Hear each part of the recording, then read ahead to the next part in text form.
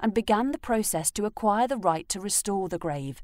When this was granted, trustees Robert Holland, Chris, and Sue Elks explored the grave site, finding only broken pieces of the original grave architecture. On scraping away the earth from the neighbouring plot, the original ledger stone to Harry's grave was revealed. In the meantime, the Friends of Key Hill and Warstone Lane cemeteries began a huge clean-up of both cemeteries, with the result that Harry's grave became much more accessible.